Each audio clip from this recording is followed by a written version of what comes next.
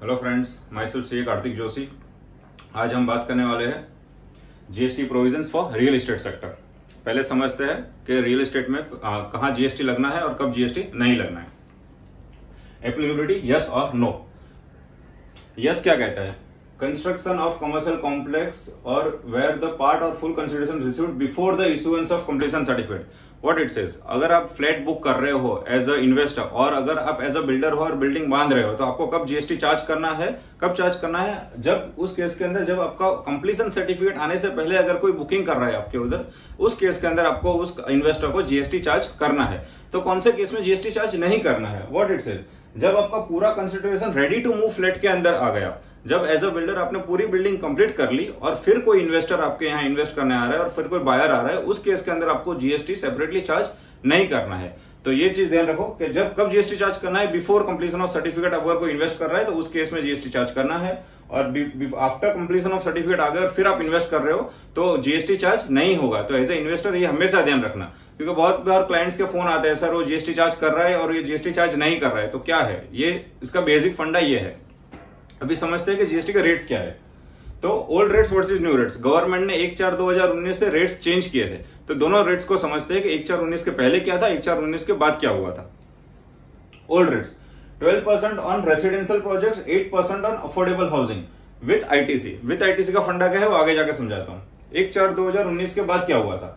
एक चार 2019 से ये हुआ five percent on residential project one percent on affordable housing जो पहले एट परसेंट था, वो वन परसेंट हो गया, जो ट्वेल्व परसेंट था, वो फाइव परसेंट हो गया। ये तो ठीक है रेट्स कम हो गए we are happy but thing is that यहाँ विथ आईटीसी था, यहाँ नो आईटीसी था। अभी इन दोनों के अंदर क्या फ़र्क है, ये पहले समझो, ताकि पता चले कि हमें फ़ायदा हुआ रेट घटने से या नुकसान हुआ। तो आपको समझाता हूँ एज अ इन्वेस्टर के पॉइंट ऑफ़ व्यू आप समझो। एक बिल्डर था, एक बिल्डर को एक प्रॉपर्टी या एक सीमेंट की गुनी तीन सौ रुपए में पड़ रही थी, उस पर वो अठारह टका जीएसटी चार्ज कर रहा था। उसको क्रेडिट मिल रही थी विथ आईटीसी तो उसको वो 18 परसेंट के हिसाब से वो हुई उसको three hundred and fifty four rupees की। तो उसकी बेसिक प्राइस उसकी टोटल प्राइस हुई, पर उसको 18 परसेंट आईटीसी का बेनिफिट मिल रहा था तो उसका बेसिक कॉस्ट कितना हुआ? थ्री हंड्रेड रुपीज़ उसके ऊपर वो आपको 12 परसेंट आईटीसी चार्ज कर रहा था तो आपको वो तीन सौ रुपए पे 12 परसेंट चार्ज करेगा, तीन सौ छत्तीस रुपए में वो आपको बेचना था। अभी क्या हो रहा है? Five percent with no ITC no ITC का मीनिंग क्या हुआ? अभी वो साढ़े तीन three hundred and fifty four rupees की उसको सीमेंट की बैग पड़ेगी, उस पर वो आईटीसी की बेनिफिट नहीं ले सकता। उस पर वो आपको फाइव परसेंट और चार्ज करेगा। मतलब साढ़े तीन सौ रुपए के ऊपर आपको फाइव परसेंट चार्ज करना है तो और उसके लिए उसका पंद्रह रुपए का, अठारह रुपए का बर्डन बढ़ गया तो आपको थ्री फिफ्टी फोर की जगह अभी वो थ्री सेवेंटी रुपीज़ में चार्ज करेगा, जो पहले आपको थ्री थर्टी या थ्री थर्टी फाइव में चार्ज कर सकता था। तो इस केस के अंदर रेट कम होने से एज ए इन्वेस्टर हम लोग खुश हो जाते हैं कि नहीं, अब तो जीएसटी हमें कम लग रहा है। पर आप एक बात समझने जाओ, ये बारह परसेंट जब था, तब इन्वेस्टर को फ़ायदा था। अब फाइव परसेंट में इन्वेस्टर को लॉस हो रहा है, जबकि उसका कॉस्ट बढ़ रहा है, क्योंकि इन्वेस्टर बिल्डर है, वो अपने जेब से कुछ नहीं भरने वाला। He is going to finally collect from the consumer और consumer as a consumer we have to payer more आगे जाकर समझते हैं कमर्शियल प्रोजेक्ट में क्या होता है। हाँ अभी ये समझते हैं फाइव परसेंट और वन परसेंट का क्या फंड है। अगर आप अफोर्डेबल हाउसिंग के प्रोजेक्ट्स में जाते हो अफोर्डेबल हाउसिंग क्या है कि जहाँ consideration less than forty five lakhs rupees है। Less than forty five lakhs का मीनिंग क्या हुआ? कि अगर आपका डॉक्यूमेंटेशन अगर फोर्टी फाइव लैक्स के 45 लाख का बन रहा है और उससे कम बन रहा है। सेकंड कंडीशन अगर आप 660 स्क्वायर मीटर के लेस का कारपेट एरिया का फ्लैट ले रहे हो 60 स्क्वायर मीटर समझोगे तो उसको अगर स्क्वायर फीट में कन्वर्ट करोगे तो साढ़े छह सौ स्क्वायर फीट और अगर उसको फुल एरिया कंसिडर करोगे तो हज़ार स्क्वायर फीट के अगर आसपास का घर ले रहे हो मेट्रो सिटीज़ में, और भी 45 लेक्स की उसके डॉक्यूमेंट हो रहा है तो उस केस के अंदर जीएसटी रेट वो चार्ज करेगा आपसे वन परसेंट और अगर आप नॉन मेट्रो सिटीज़ में जा रहे हो तो उस केस के अंदर वो 90 स्क्वायर मीटर का फंडा आता है। 90 स्क्वायर मीटर मतलब अराउंड वो हो गया साढ़े नौ सौ स्क्वायर फीट और साढ़े नौ सौ स्क्वायर फीट के हिसाब से अगर उसको फुल गिनोगे तो वो अराउंड सेलेबल गिनोगे तो पंद्रह सौ स्क्वायर फीट के आसपास का आता है। तो he will charge around fifty hundred square feet के आसपास का वो एरिया हुआ आपके घर का। तो वो केस के अंदर वो जीएसटी वन परसेंट चार्ज करना है। एज अ बिल्डर उसको ध्यान रखना है कि उसको आईटीसी क्रेडिट नहीं लेना है।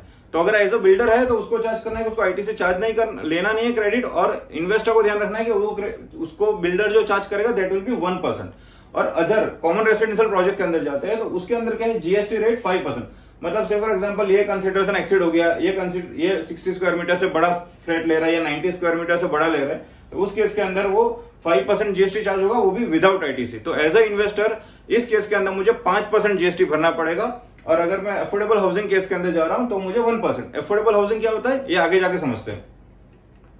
अभी समझते हैं कमर्शियल अभी इसके अंदर है residential real estate project that is affordable housing वो क्या कहता है? Carpet area of the commercial space is not more than 15% of the total carpet area of all the apartments in the project. What it says? अगर से for example एक पूरी building बन रही है और वो पूरी बिल्डिंग है हुई है एक लाख स्क्वायर फीट की फ्लैट वाइज गिनो टोटल में। उस एक लाख स्क्वायर फीट के अंदर 15 percent commercial real estate commercial area जो होता है, जो कमर्शियल जहाँ शॉप्स होनी है, वो पूरे प्रोजेक्ट के अंदर 15 परसेंट से ज़्यादा नहीं होना चाहिए। तो एक लाख का 15 परसेंट का पंद्रह हज़ार। पंद्रह हज़ार से ज़्यादा अगर कम है कमर्शियल कॉम्प्लेक्स और कमर्शियल एरिया उसके अंदर तो वो real estate residential real estate मतलब अफोर्डेबल हाउसिंग के अंदर चला गया। और बाकी केस नॉर्मल में आ गए, जहाँ आपको फाइव परसेंट जीएसटी भी एप्लीकेबल हो जाएगा।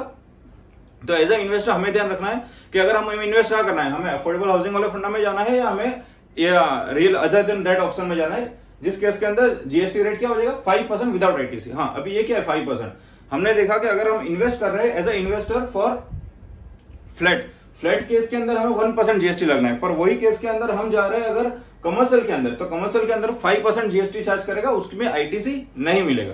तो as a investor five percent we have to pay and as a builder there is no fund of ITC ये आईटीसी का तो और आगे और और बड़ा जमेला है, आगे जाके और समझते हैं। कमर्शियल अपार्टमेंट अभी कमर्शियल ये प्योर है रियल एस्टेट प्रोजेक्ट इस केस के अंदर क्या हो रहा है? क्या carpet area more than 15 percent है? 15 percent more than carpet area है, उस केस के अंदर ये चला गया नॉर्मल के अंदर, उस केस के अंदर जीएसटी रेट क्या है? ट्वेल्व परसेंट पर यहाँ है विथ आईटीसी तो अगर आप ओवरऑल देखने जाओ ना तो ये प्रोजेक्ट में कोई जो इन्वेस्ट करेगा ना तो उसको ये और सस्ता पड़ेगा. क्यों? क्योंकि यहाँ बिल्डर को आईटीसी का बेनिफिट मिल रहा है. और वो श्योर है, वो पास करेगा इन्वेस्टर को. तो उस केस के अंदर जो रियल एस्टेट प्रोजेक्ट नॉर्मल में गया उसको 12 परसेंट देने के बाद भी उसको फ़ायदा होने वाला है।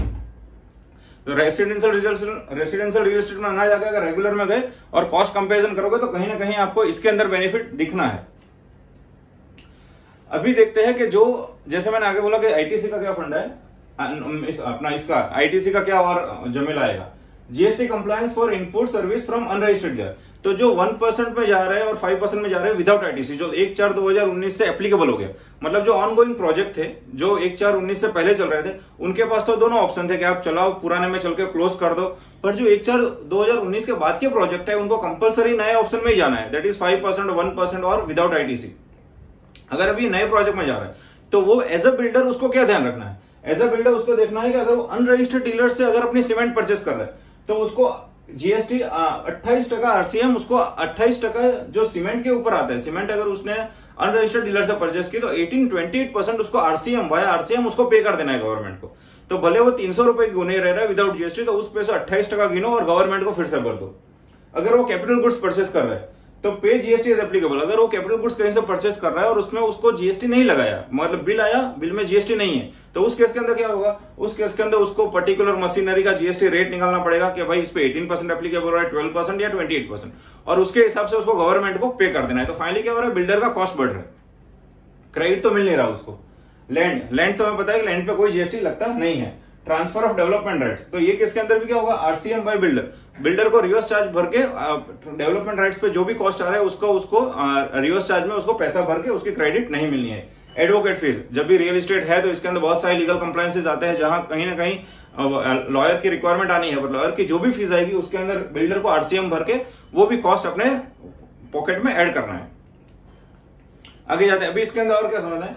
Points to be project wise account of purchase what it से for example as a builder और एज अ प्रोजेक्ट डेवलपर आपका एक प्रोजेक्ट गुजरात में चल रहा है, एक महाराष्ट्र में चल रहा है और एक दिल्ली में चल रहा है। तो और वो प्रोजेक्ट अगर सब जो गुजरात में भी आपका तीन, एक अहमदाबाद, सूरत और बड़ोड़ा में चल रहा है तो उस केस के अंदर उसको प्रोजेक्ट वाइज डिटेल मेंटेन करनी है कि ये प्रोजेक्ट के अंदर मेरा ये खर्चा हो रहा है, मेरी सीमेंट यहाँ से आ रही है, मेरा स्टील यहाँ से आ रहा है, ये रजिस्टर्ड डीलर से आ रहा है अनरजिस्टर्ड डीलर से आ रहा है। इसका पूरा अकाउंट उसको मेंटेन करना है और उसको आगे समझते हैं कि उसमें आगे और क्या होने वाला है।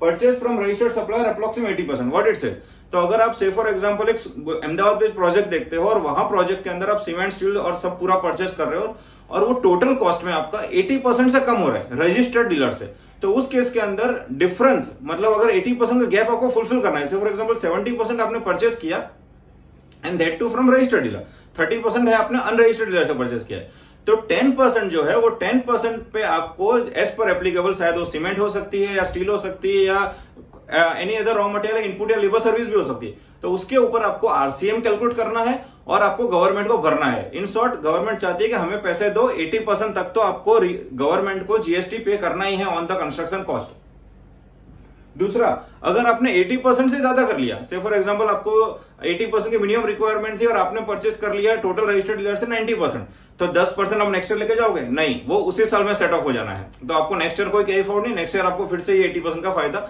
नेक्स्ट ईयर एटी का झंझट फिर से करना है, और अगर कम पड़ गया तो आपको एटी परसेंट में जो गैप आएगी वो आपको गवर्नमेंट को पे करनी है via RCM in short government को रियल स्टेट के अंदर से प्योरली पैसे जीएसटी उसमें जाना है ट्रेजरी के अंदर। अभी इसका इंपैक्ट क्या होगा shortfall from the minimum requirement pay GST 18 percent on the shortfall of inputs अगर सीमेंट है तो 28 टका। अगर सीमेंट आपकी कम पड़ रही है तो in short twenty eight percent आपको भरना है। इन शॉर्ट कहीं ना कहीं से आप देखो तो बिल्डर के ऊपर जीएसटी का बर्डन आ रहा है। वो बर्डन जीएसटी खुद बिल्डर तो उठाना नहीं है तो बिल्डर पास ऑन करेगा इन्वेस्टर को। तो जो फ्लैट्स हमें 12 परसेंट जीएसटी भरने के बाद भी हमें सस्ते पड़ रहे थे या जो रियल एस्टेट इन्वेस्टमेंट हमें 12 या 18 परसेंट भरने के बाद भी सस्ता पड़ रहा है, आज वो 5 परसेंट या 1 परसेंट देके भी हमें महँगा पड़ रहा है। तो ये चीज़ को समझना बहुत ज़रूरी है। रियल एस्टेट के रेट्स को या तो घटाना चाहिए या तो इसके अंदर आईटीसी के प्रोविज़न लाने चाहिए ताकि फाइनल बेनिफिट कंज्यूमर को पहुँच सके। ठीक है? आज के लिए इतना ही। ये फंडा बहुत अच्छे समझो। कहाँ इन्वेस्ट कर रहे हो, कैसे इन्वेस्ट कर रहे हो? फाइव परसेंट में जाना है वन परसेंट में जाना है। और अगर इसके अंदर अभी भी कहीं कंफ्यूजन है तो यू कैन कॉन्टेक्ट अस हमारा कॉन्टेक्ट डिटेल्स है C Karthik eighty five eight the rate Gmail dot com और मोबाइल नंबर है nine eight two four nine six four three zero nine have a good day bye